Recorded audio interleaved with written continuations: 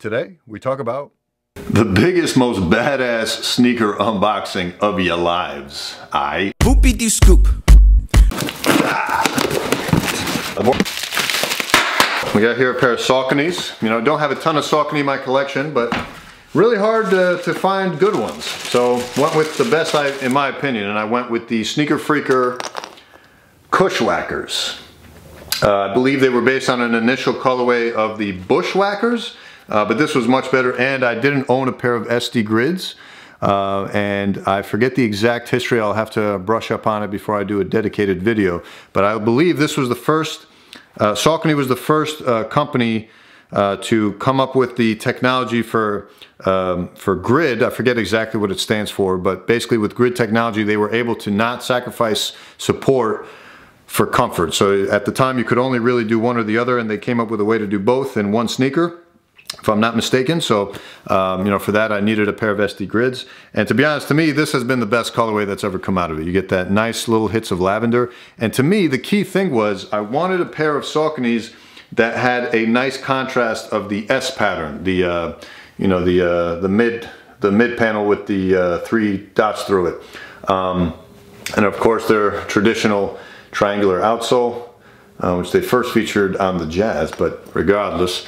Um, beautiful, beautiful suede on here. Love the laces. Sneaker Freaker collaboration. Sneaker Freaker always does a great job.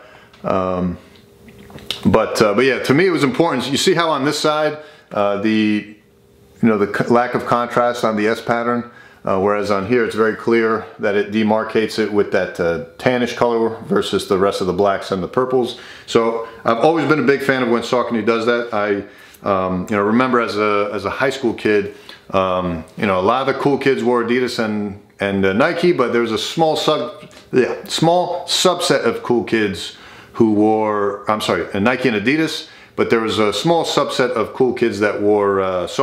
And the thing that always made them stand out, and I wish I could remember what silhouette it was, but um, they all looked great, and the all what they all had in common was whatever the colorway, they always had a nice contrast of that S pattern to pop against the rest of the shoe. And I don't know why I don't see a lot of that with current model uh, but I think if they went it back to that, they would do a lot better with their uh, shoe sales, just, just my opinion. Uh, but yeah, glad that they crushed it with this colorway and uh, glad to own a pair of SD grids. Kushwacker.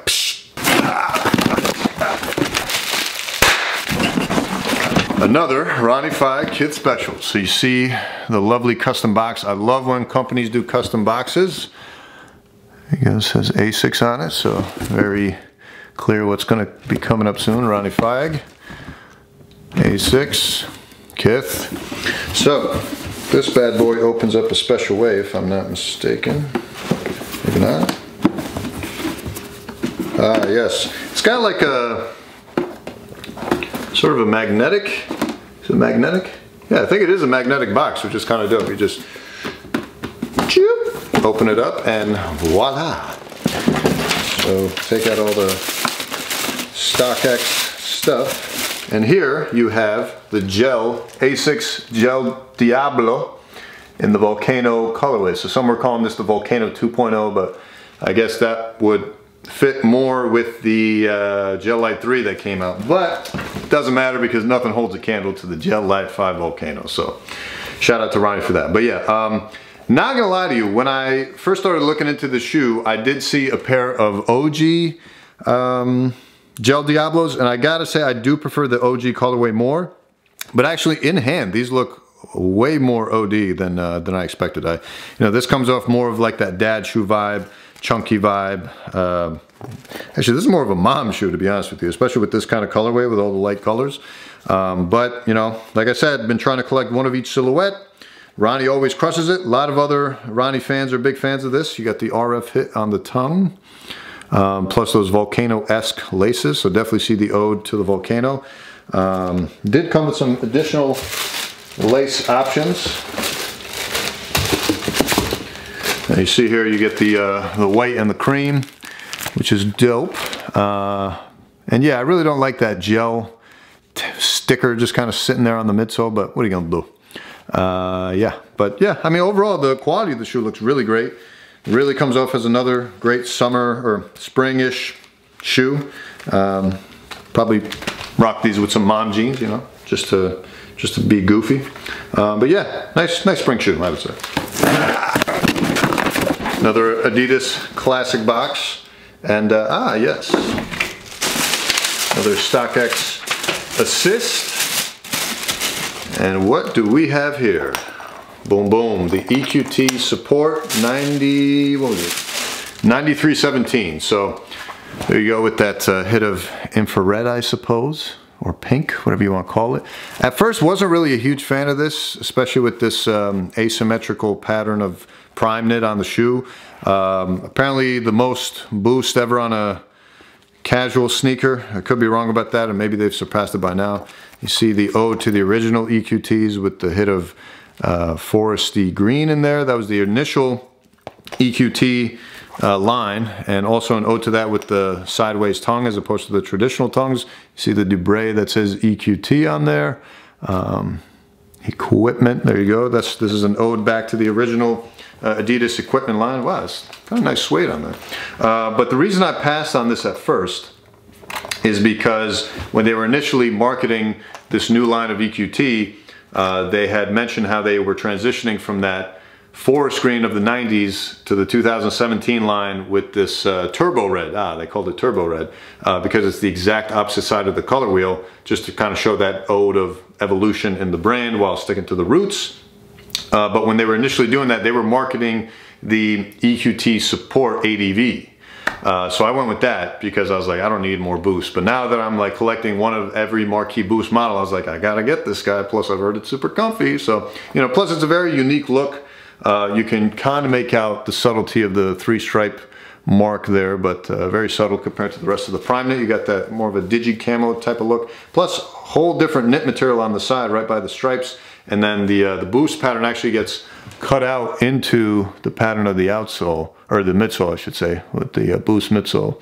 So that's kind of dope. It kind of just like lines up with the stripes, which is cool. So yeah, very unique looking shoe. And uh, you know, if I'm gonna be completing this collection, I have to get it. So here we are. All right, another go. Slip it off as the Jumpman reveals himself. So, I've been waiting to open these bad boys up. And uh, you can tell by the elephant print on the box what we're about to see. And of course, I've been waiting for these for a while now.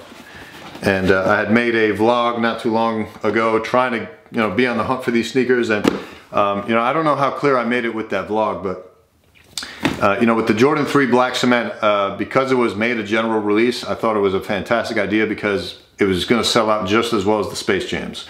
Um, but with it being so, with so many pairs being available, I was like, yo, I might have an actual chance of copping these on, uh, you know, uh, release day. So I actually physically went to the mall and that was like the first time as a sneakerhead I've had that rush of like being on the hunt and going around to all the different stores and asking, hey, do you have any left? Hey, do you have any left? And some of them actually still had them left, but only in like size 13 or 9 or whatever. Calling around, calling different Foot Lockers, which I never do because with limited releases like some of the stuff you guys have seen already, it's impossible. A, they don't carry them at the stores, and B, if they do, one out of 300 pairs, really, you're gonna like call someone up and it's gonna be available? No. So uh, it was it was fun to just be kind of on that hunt. Even though I wasn't successful getting them, I ended up having to pay fucking re ended up having to pay a resale, right? Um, but uh, you know, it just would have been even more fun to, to get them after a little bit of a hunt. But it was fun. You know, I had a fun day with uh, Billy Butt Cheeks there. So, you know, at least there's that. And I still ended up getting the kick. So it is what it is. So let's get it. So let's get it going. Ooh, wow. Look at that. Ah, even smells amazing. Love the uh, the pop of red on the inside of the box. The elephant print to the uh, to the paper. And then of course the sneaker. Been looking forward to getting a pair, even just to get this uh, lovely orange hang tag. I've always been a fan of seeing those in other people's videos and on other people's pairs, but now I finally have a pair. And uh, yeah, it's the first three and probably the only three I'll ever buy. Um, and I've just been waiting for this because of BOP, the Nike Air. And uh, yeah, that tumbled leather, again, a lot of people say not the best quality leather, but really, I don't know what you really expect. I would rather compromise quality leather just so that more people have a shot at getting the, uh, more people have a shot at getting the shoe, especially for retail, and if not retail, at least for a smaller resale price than uh, previous pair. That classic outsole pattern with the Nike on the bottom. But yeah, this is just timeless. And to a lot of people, this was the birth of sneaker culture. Some people will owe it back to the Jordan 1 or the Air Force 1, but a lot of people will say this, especially with its significance to Nike specifically. Tinker Hatfield's first Jordan masterpiece of many. Um, the first time a Jumpman was featured on a Jordan model. Uh, and this was, you know, rumored to be what kept Jordan from uh, leaving Nike. And uh, first, uh, first Jordan model to have a visible air bubble, which at the time was revolutionary because it came out in, what year did this come out, 87? I believe this was an 87 model. And same year that the original Air Max came out with the, with the first ever air bubble, so visible air bubble. So, you know, a lot of historic elements to the shoe, a lot of people's favorite shoe. It's a great looking shoe. Um, and a lot of people's grails and really excited to wear these. Glad I finally have them. So yeah, really happy with these. Whew, guys, I am sweating. Uh, this is a, a, lot more boxes than I anticipated. I don't know why I waited so long to open these up just to be dramatic about it. But uh, join me on the next one. I'm going to split these up into separate episodes so that uh, you guys don't get bored and I can uh, crank out more videos for you. So uh, see you on the next one.